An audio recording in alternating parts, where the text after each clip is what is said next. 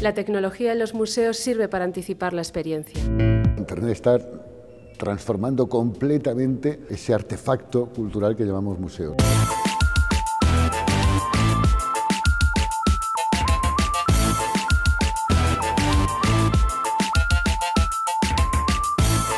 La revista Telos lo que pretende es fomentar la reflexión, pero no solo la reflexión, sino también la transmisión de los conocimientos que se derivan de esa reflexión. Eh, quiere estar al día y conectar con el, con el público joven.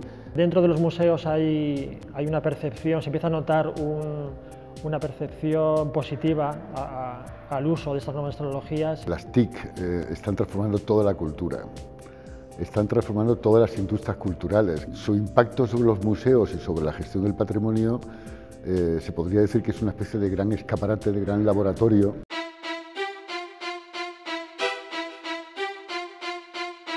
Estamos asistiendo a una eclosión de mm, distintas plataformas, ya no hay una única eh, audioguía, que clásicas, eh, bueno, las clásicas audioguías que los museos tenían a disposición de sus visitantes, ahora ya eso pues empieza a cambiar y se constituyen en elementos pues, que el propio visitante aporta. Los artistas eh, tienen en su mano herramientas nuevas, con lo cual para ellos es una oportunidad también de, ese lenguaje creativo, de canalizarlo a través de medios que nunca se han utilizado. Entonces es un campo totalmente abierto.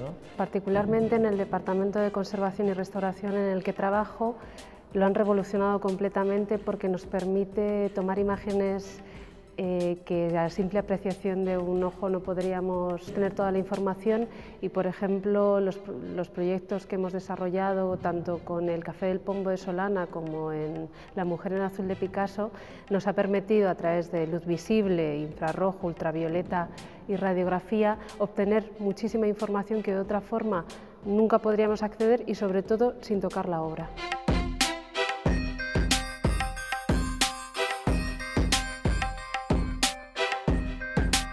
La Fundación Telefónica estaría un poco en los dos planos, actuar como promotora, como incentivadora de la aplicación de nuevas tecnologías a las posibilidades de los museos y del patrimonio y al mismo tiempo, en el caso de Telos, como creación de un espacio de debate, de reflexión, de estudio científico sobre la transformación de la cultura y de la sociedad. ¿no?